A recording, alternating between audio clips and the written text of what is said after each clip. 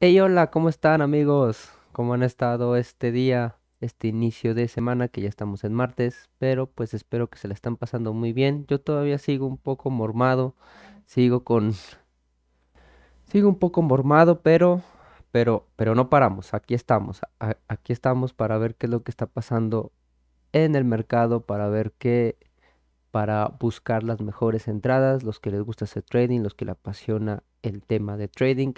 Aquí estamos diariamente, mormados o no mormados. Pero bueno, sin antes recordarles que por favor se suscriban. Ya, ya vamos casi para los mil suscriptores. Sigan comentando, sigan recomendando para que lleguemos pronto a los mil suscriptores y regalemos ese like que todos esperan. Mucha suerte a todos los que han comentado. Y pues cuando sea la rifa, pues vamos a celebrarlo en grande con un Lycon y que se lo lleve el que tenga mejor suerte. Pero bueno, sin antes más que decir, vamos a ver qué es lo que está haciendo el mercado, qué es lo que está evolucionando. Y prácticamente Bitcoin de ayer para hoy no hizo prácticamente nada. Tiene sus mechazos poquitos, bueno, muy muy, pero muy chiquitos, pero esto es en gráfico diario. Vamos a verlo en gráfico de 4 horas, qué es lo que está haciendo Bitcoin o qué entrada podemos, podemos entrar. Valga la, la este, redundancia. Muy bien, en gráfico de 4 horas, Bitcoin todavía somos bajistas porque aquí se nos cruzaron la- las dos emas y no tenemos fuerza para ningún lado. Entonces, si lo ven a un, sobre un panorama amplio, sobre un panorama, panorama, un panorama amplio, perdón, es que Bitcoin entró en un lateral si lo ven a simple vista. Pero, pero nosotros estamos aquí para buscar unas en- entradas para salirnos ese mismo día.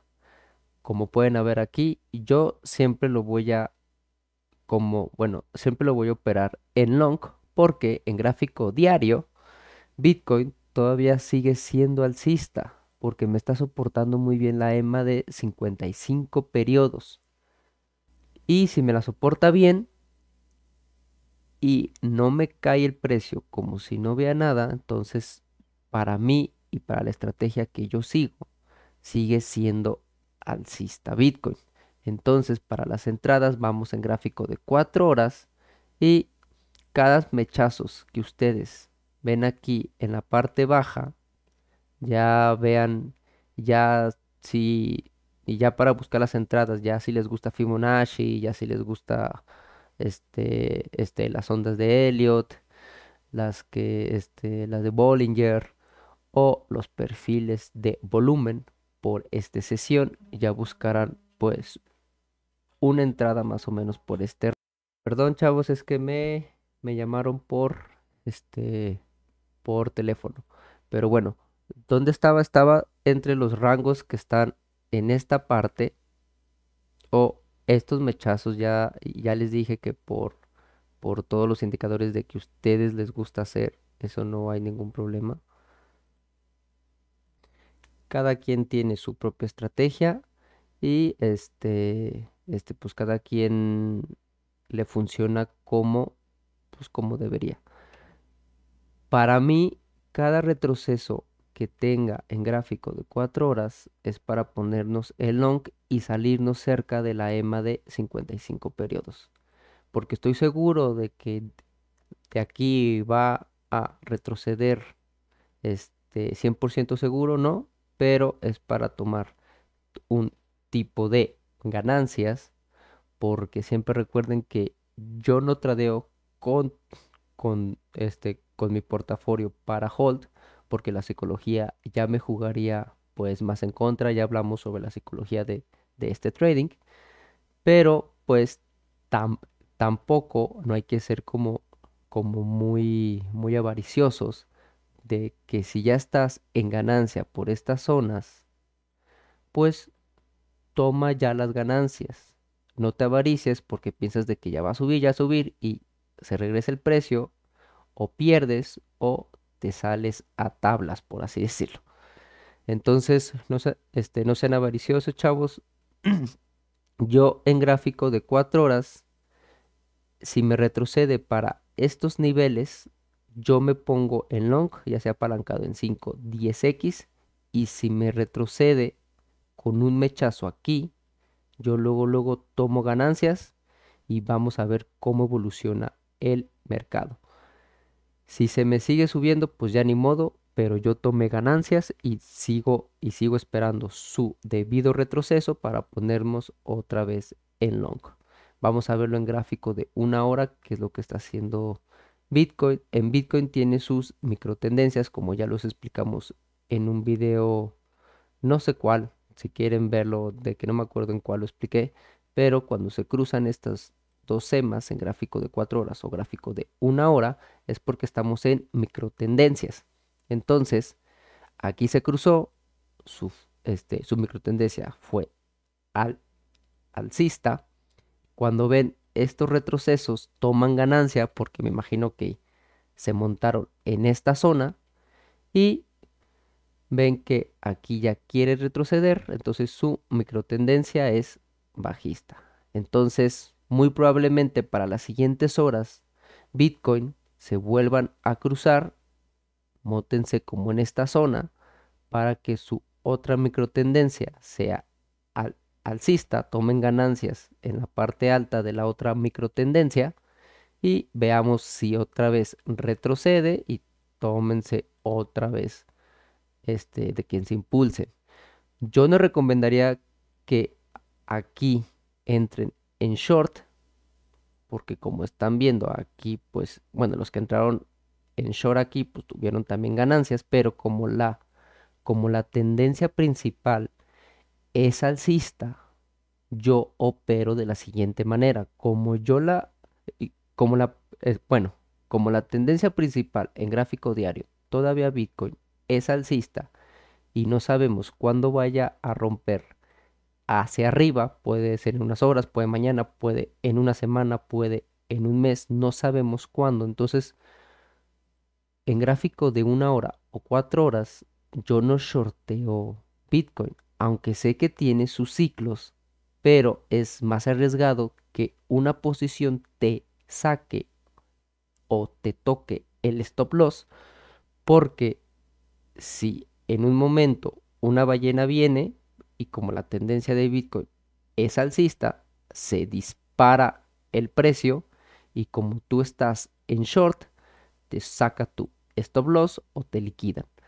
Por eso yo no opero en contra de la tendencia, por eso yo nunca shorteo Bitcoin ahorita porque todavía sigue siendo este tendencia alcista. Entonces cada retroceso que tenga gráfico de una hora o cuatro horas es para ponerme en long y sacar ganancias. Esperar su retroceso, ponerme en long y sacar ganancias. ¿sí? Nunca, nunca abro short porque me pueden liquidar con un impulso o cuando rompe el rango en gráfico diario puede ya dispararse y pues me saca o me liquidan. Cuando yo digo que Bitcoin ya de tendencial es alcista a bajista, cuando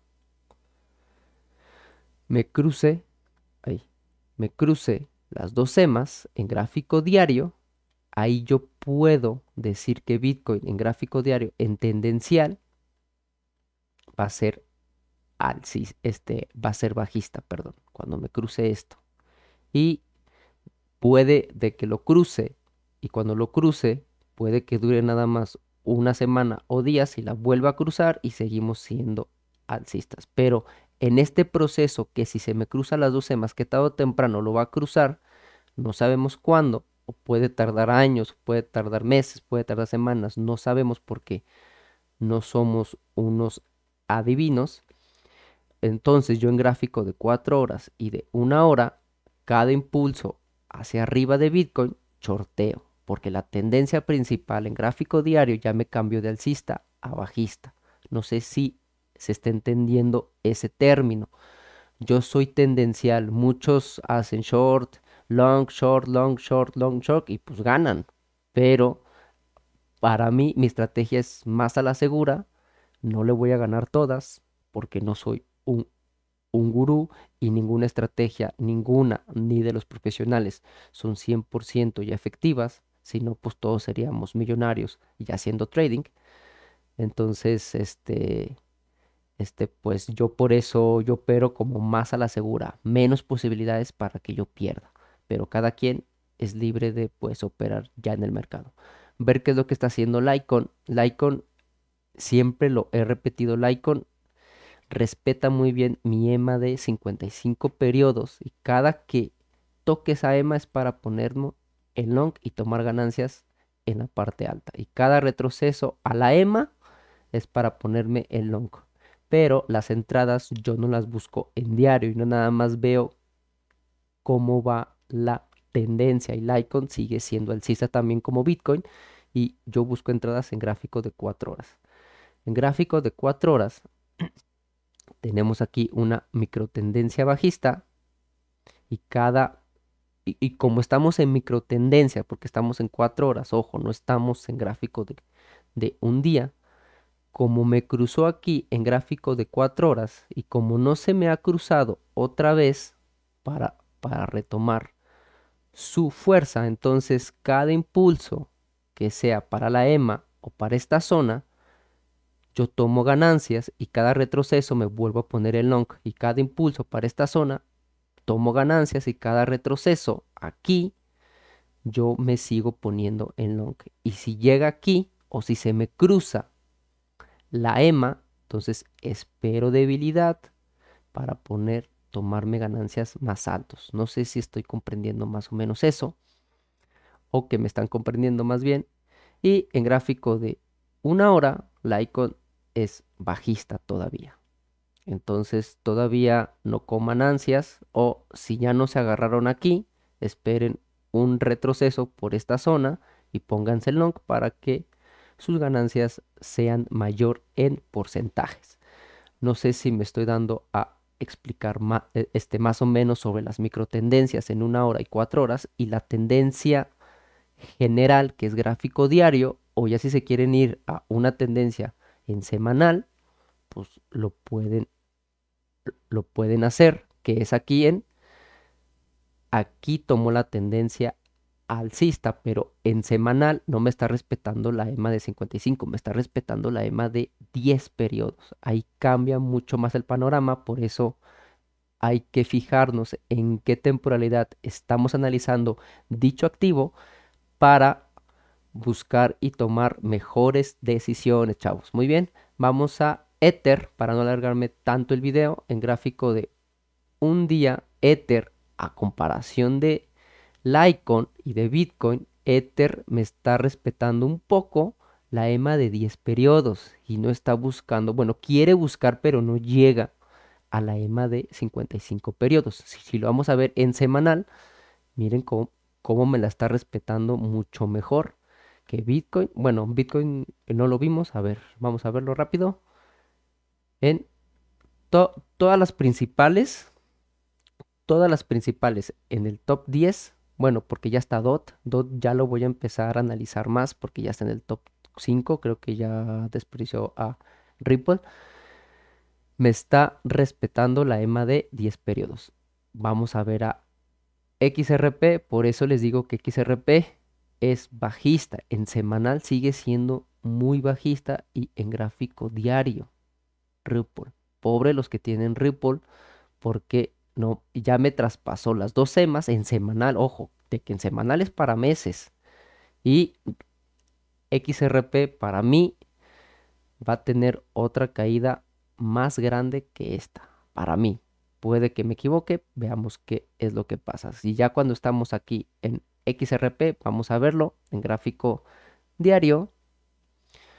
XRP sigue siendo bajista porque se me cruzó y aquí va lo que yo les decía. O sea que en gráfico de 4 horas, si quieren tradear XRP, como mi tendencia principal para mí es bajista, entonces cada impulso que tenga hacia esta zona es para yo meterle short apalancado.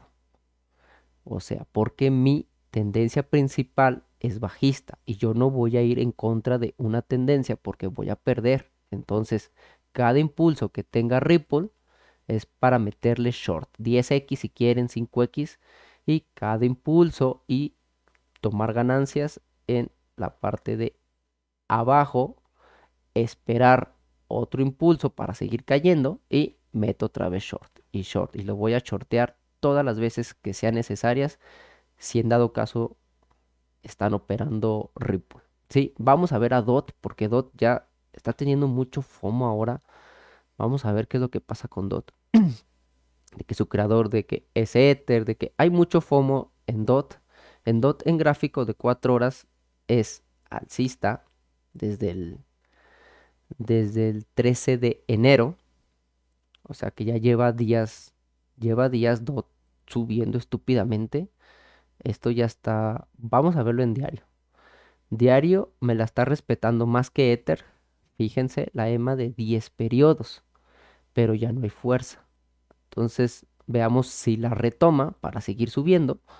Pero en semanal, a ver, la quiero ver en semanal. Es que miren esto, no manches. A ver, vamos a ver en semanal qué está haciendo DOT. Como DOT es, es nueva, no tenemos nada, pero nada de información de volumen en semanal. DOT, esto para mí ya es una burbuja.